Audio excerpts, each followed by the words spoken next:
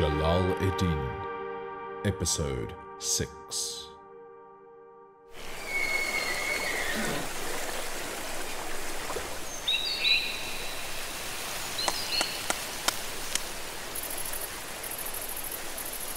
The people of Balkh are lucky to have been blessed with the wisdom of the Sultan of Scholars. And I believe that the wisest thing to do now, unfortunately, is to leave.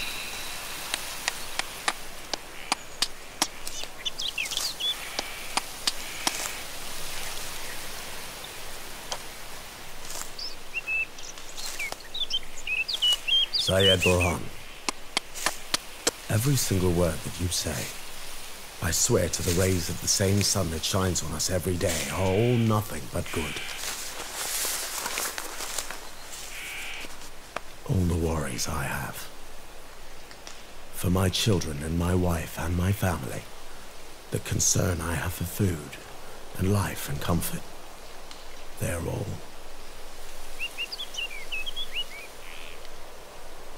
They're all good reasons to leave. But Syed Burhan, something deep from within is scaring me, and my feet have become weak. Something deep within me. Something that I cannot describe.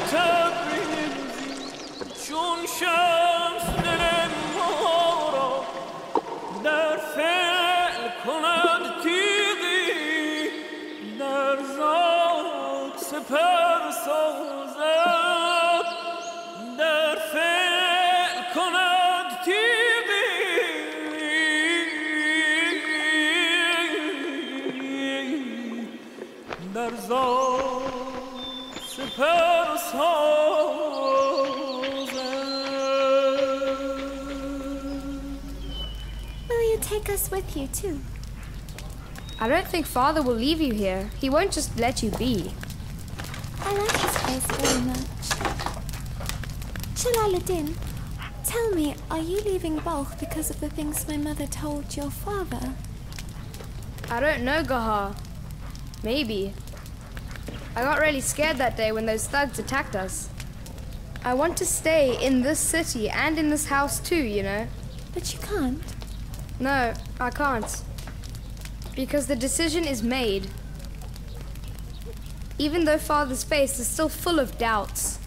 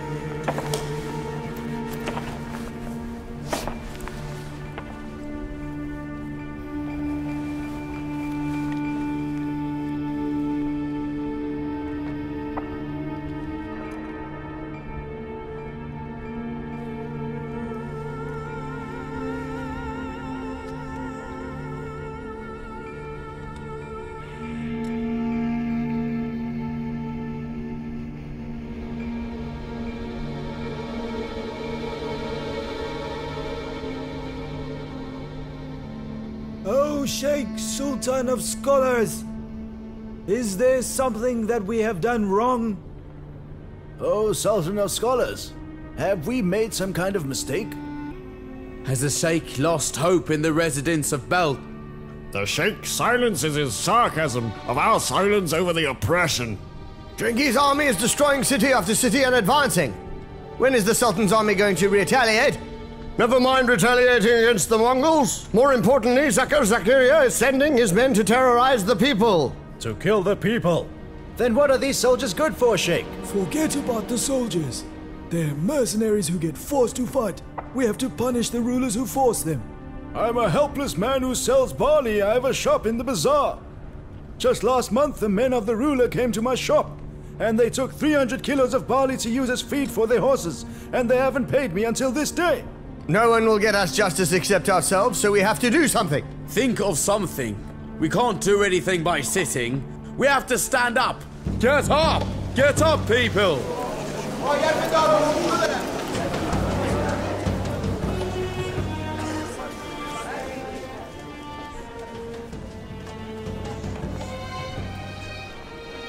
It is pain that leads mankind in everything he does. It is pain that guides him. If the pain and the temptation and the love do not awaken deep in his soul, he will not do what he intends. He won't be able to do what he wants without that pain. Be it in this world or in the next.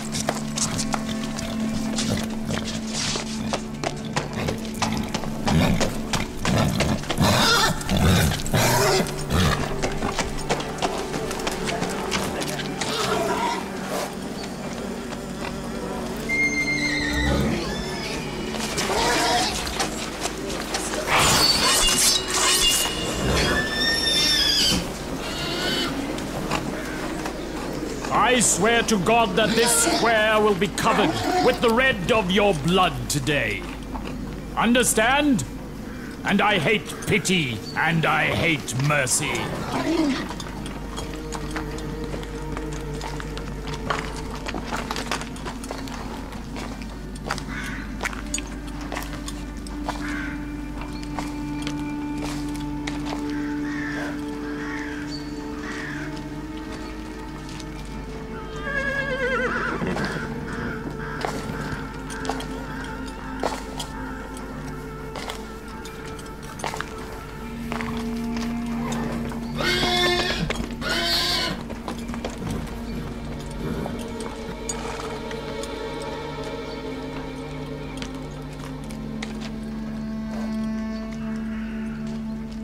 Listen, people.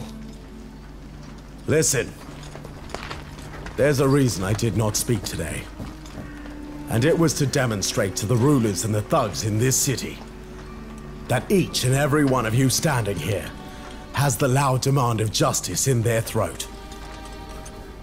I wanted to tell them with my silence. If today they silence me with terror and threats, what are they going to do tomorrow? With the fire of injustice that is burning the hearts of the people of Balkh. If you don't keep your silence, the blood that will be spilt here today will be spilt because of you, understand? Calm down! Calm down, please. What I want from you right now, people, is to go home to your families and know that that there is no oppressor in this world that will remain in power for very long. Do not stay here.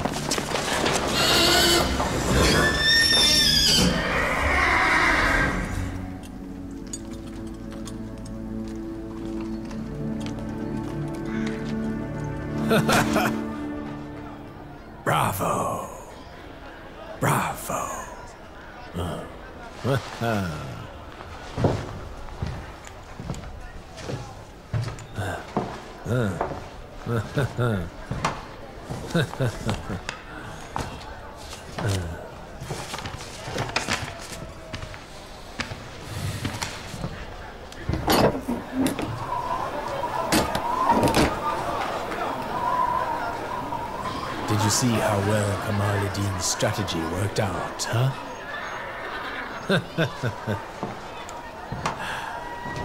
Did you see how I got them to come out of their little holes for once? And how Bahadin walked the path that he did not want to? That is very true, sir. I am not overdoing it when I say you can teach the devil a lesson or two.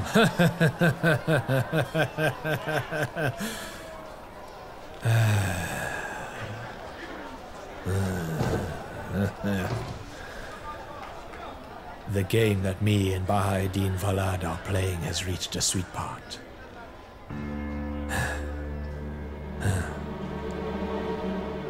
All that's left to know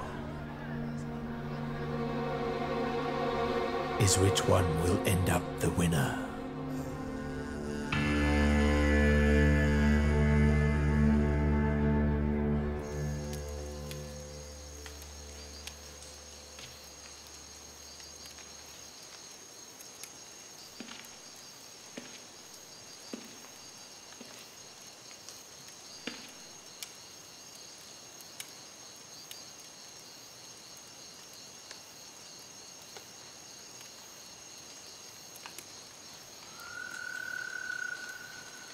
What I found out from the things that Baha'u'ddin Valad said is that he's worried about the people of Balkh, and he cannot just leave them here alone. And all the talk last night was like, like beating the air or carrying water in a sieve.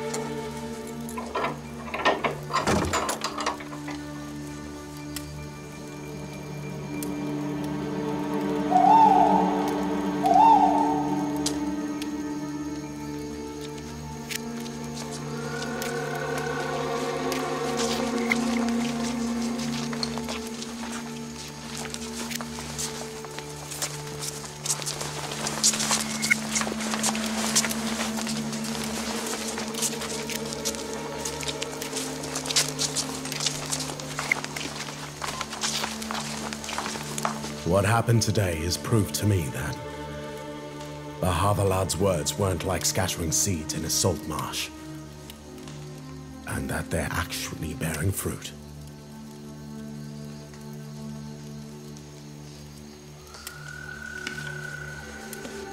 And doesn't that mean that what Baha'u'ddin Valad was religiously obliged to do has been achieved now?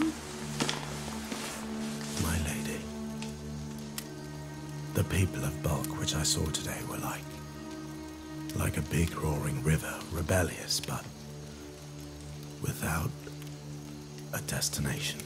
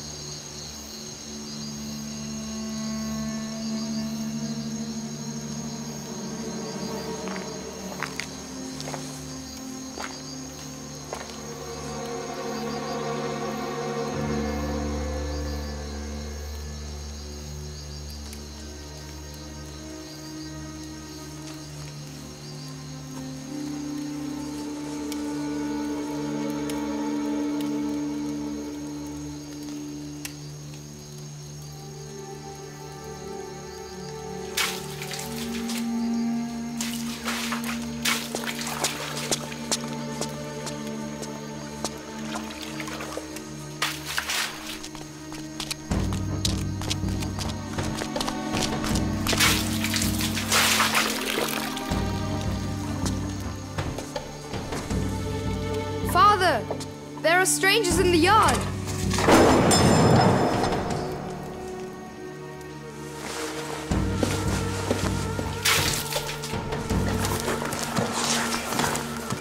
About four or five, behind the trees and on the other side of the pool, near the bench.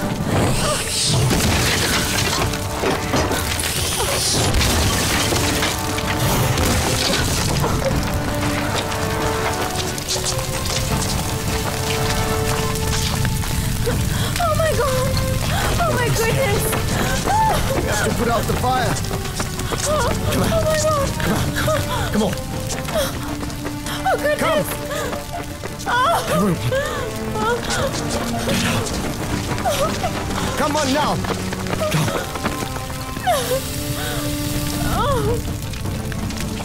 Oh god! Come out!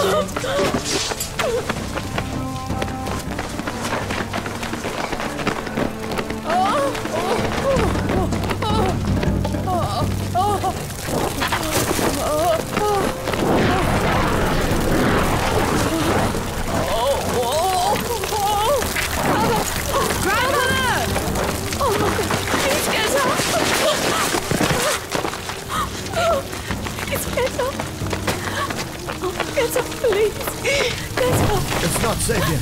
Take her out. Get up. Come. Grandmother!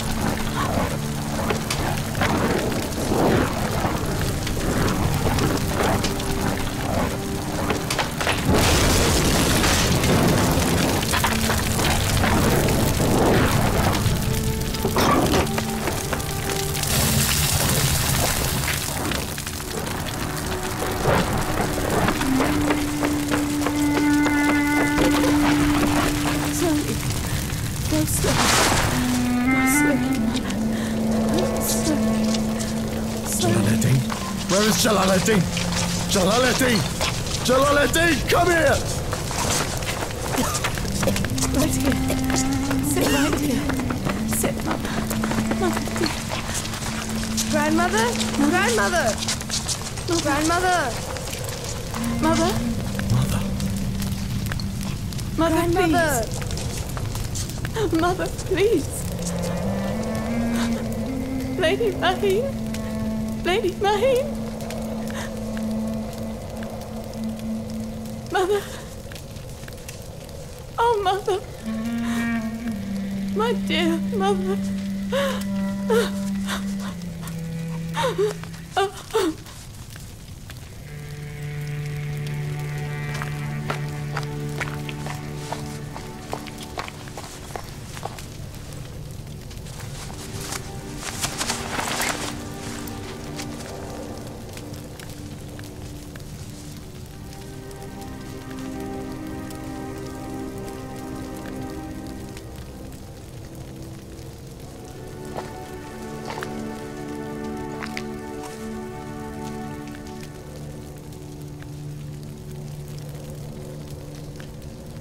Oh, my dear Mother.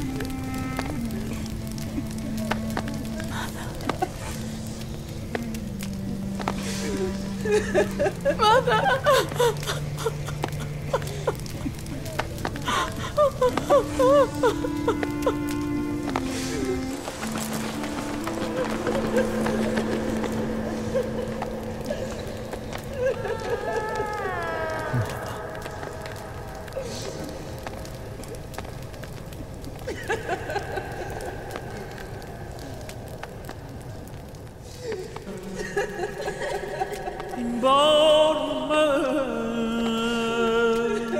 یک بارگی از عافیت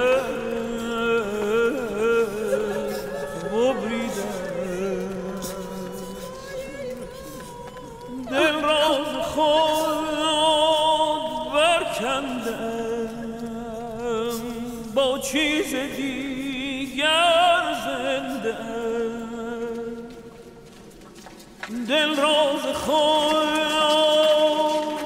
برکندم.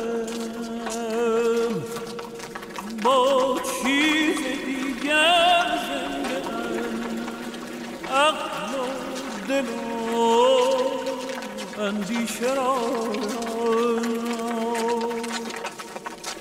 عقل و دل و اندیشه را. از بی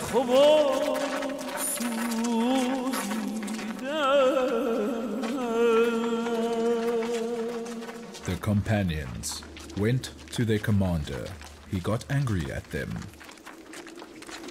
and asked, What are you all doing here? They answered, Our presence and the numbers we have is not because we want to oppress someone.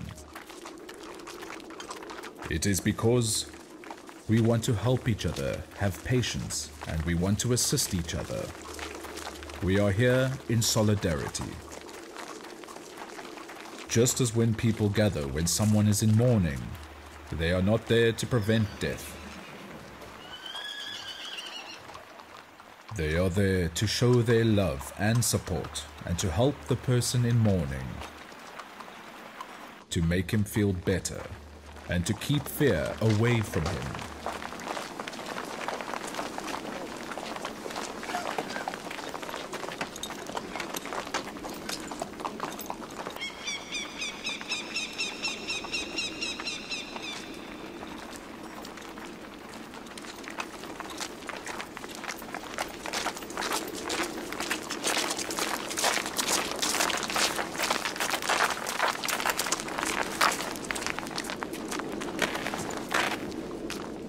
Open this door.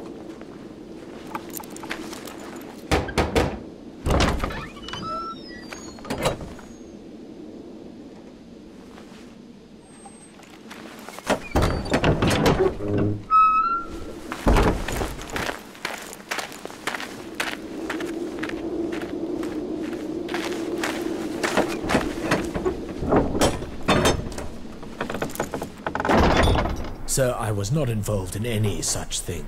I hate being involved in such despicable and appalling and bitter and stupid actions. So you know as well as me, and so does Bahadin Valad know, and I do not deny that I am completely against him, and it stems from his interference in how the city is governed. But still, I am your head judge, and I was appointed by Sultan Muhammad Khorazim himself, and I was in absolutely no way involved in anything that he says happened last night. There must be some good behind what's happened. Anyhow, the great pain that you have suffered, O Sultan of Scholars, I share your grief and your pain. But I'm sure there was some wisdom for it.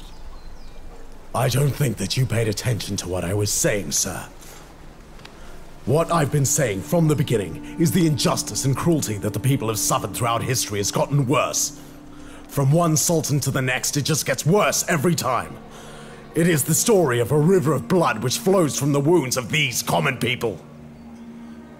What am I to myself? What is my pain going to solve? This sheik of yours is turning the words against me so that he can belittle my words, to make the suffering of the people something they brought upon themselves. I meant no disrespect, sir, but this cannot be ignored. This Bahadin Valad deserves to be punished for what he just said. He called the great sultan an unjust ruler, and that is completely unacceptable. Uh, I have a lot of experience, O Sultan of Scholars. This drum of justice that you are beating on and you're preaching to the people against the Sultan is unfortunately nothing but this. It's been a while since you have lost the great turban you once had, and the income that you once had has also decreased a lot. Your words are no longer cherished by the people, the same people who have always treated your words as gold in the past. Calm down, Sheikh Kamaluddin. Please try not to be disrespectful.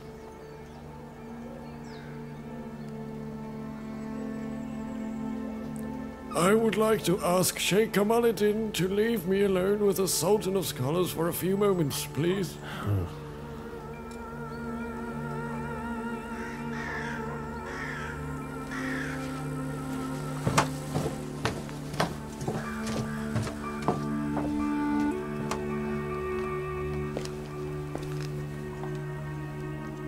Don't be upset with the things he says. I am sad to hear, and I am truly hurt and upset about what has happened to your family. But please, Bahavalad, I am begging you be careful and do not welcome a standoff with this deceitful fox of a man. He has no faith in his heart, aside from faith in position and power. I will not hide it from you. Not even I am safe from that man, and neither are you. Your life is in danger too.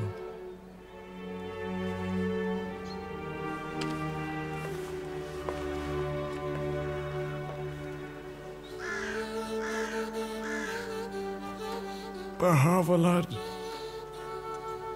Throughout all these years, I have always known what you say when you preach.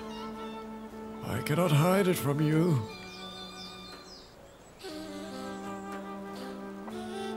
I cannot hide it. Your words would resonate with me and excite me. It was as if they were my own words. It was as as if I was hearing all of my own unspoken wishes, but they were coming out of your mouth.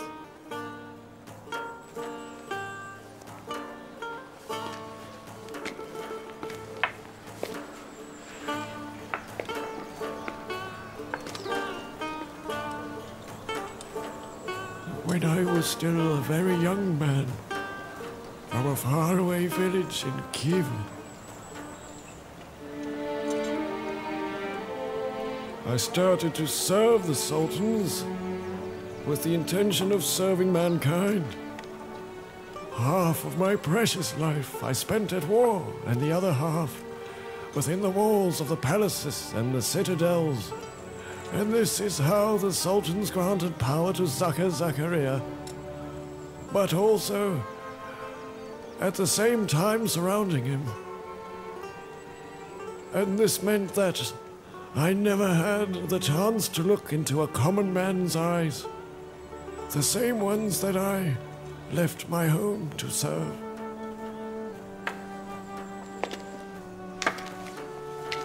And now, I am afraid for me it's too late for any kind of meeting with him. Bahavalad, you have scattered your seeds in this land wide and far, and I truly believe that the time for you to reap what you have sown is very near. But listen to what I'm telling you. Pack up your things now. Take your people and go to another land, and awake the others that are still asleep. And I know that there are still many that are asleep across this land. Be very wary of Kamaladin. He is an evil man. I have. I have always loved you dearly in my heart, and I will till the last breath I take.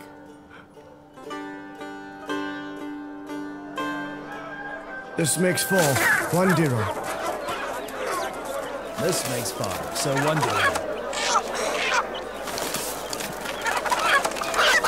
This one too? Two dirhams. Hey, hey, hey, hey. Okay then, Kaka. Here.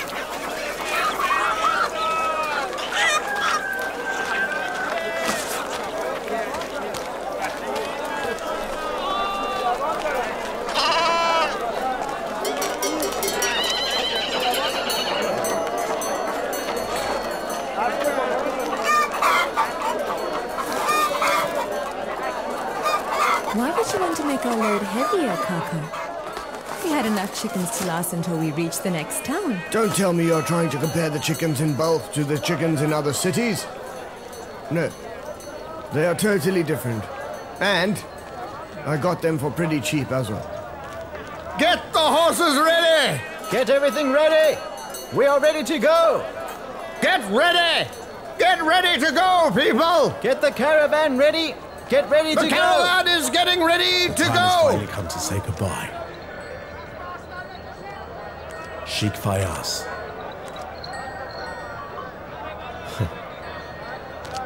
Sheikh Tayeb. Sheikh Saeed.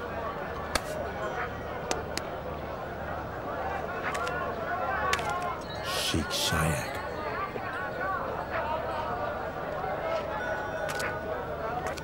I'm sorry if the rulers and their goons used any of the words I spoke to create problems for you during all these years.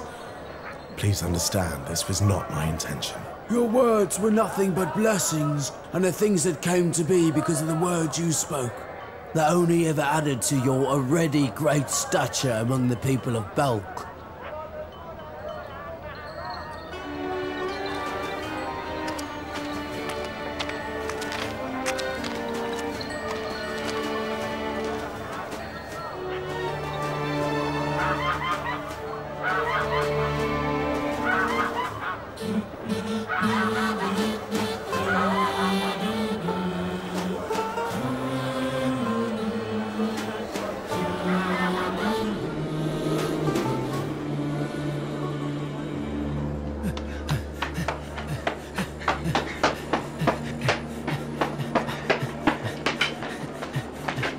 Probably keep an eye out for anything.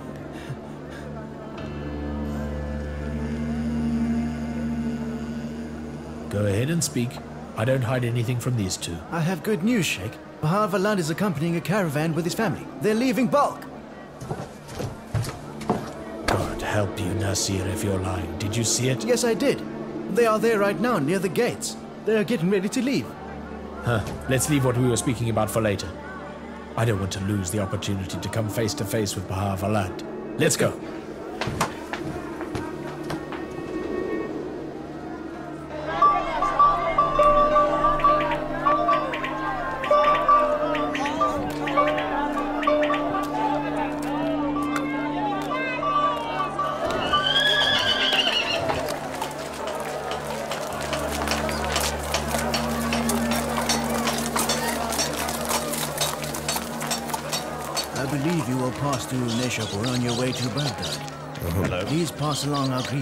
Sheikh Farid din Attar when you get there, and tell him that Tayyib is still waiting for a copy of the Mukhtar narrative.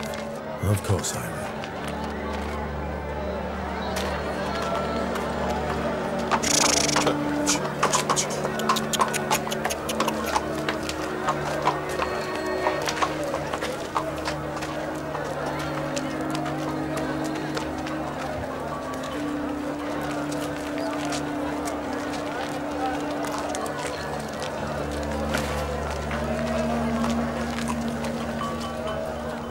It's been written by Abu Tahir Mehmundi. Please accept this glorious present coming from an ordinary follower of Balkh Sultan of Scots.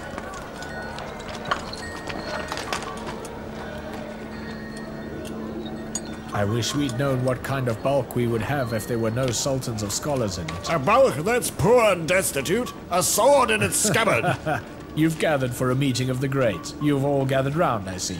A city that has someone like you as its head judge, and is without a sultan of scholars like me, will have people who will take action faster.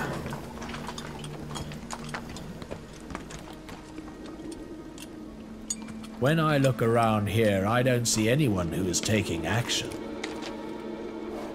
But luckily, the one who got the Sultan of Scholars in this caravan knows himself how to deal with these actions if they do arise someday. Say hello to the people of Baghdad for me. I hope the people of that land know how valuable you are. The people in Balkh were so disloyal. Sheikh. You'll be thinking a lot about the things you've just said. When you realize what happened, but it'll be too late. And take a good long look at the walls and doors of the Palace of Balkh, because you will not be there very long.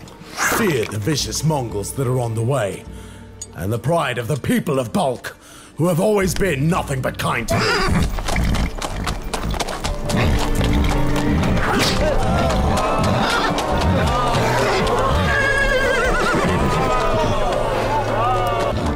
Oh, people!